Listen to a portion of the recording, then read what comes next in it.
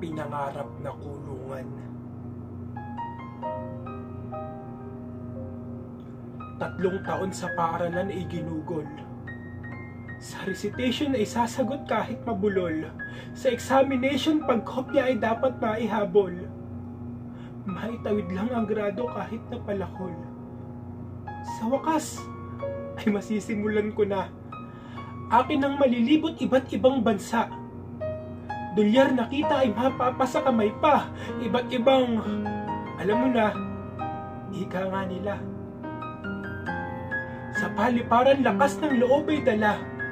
Mahigpit na yakap pabaon ni ina. Mag-iingat ka anak, tura ni ama. Sa anak na kadete pangarap ay makasampa. Masaya si kadete na animoy nanalo sa loto. Nang masilayan at makaapak sa sasampahan na barko. Saya, kaba, excitement at kung ano-ano. Sa isipan ay nag-alimpuyo tanong na, paano ko nga ba sisimulan ito?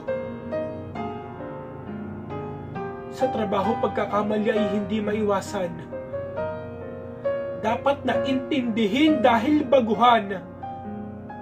Imbis na unawain bakit kailangan bulyawan. Nang kasamahang animoy sa pagkakadete ay hindi dumaan. Lumipas sa mga araw, takot ay nabubuo. Eto na naman kasi ang malakas na alon may kasama pang bagyo. Hindi makatulog, kusang nabubuo sa isip ko. Bakit nga ba ito ang kinuhang kurso? Sa barkong pinangarap doon na nga tatanda. Ni hindi masilayan ng anak na nagdadalaga at nagbibinata. Ang pinangarap ng kadete ay panghabang buhay na nga lulan ng isang malaking bakal na tinatawid iba't ibang bansa. Bumibilang ang araw hanggang sa hindi na malayan. Anim na buwan na pala ang nakalipas mula ng Pinas ay nilisan. Lungkot at pangungulila ay nararamdaman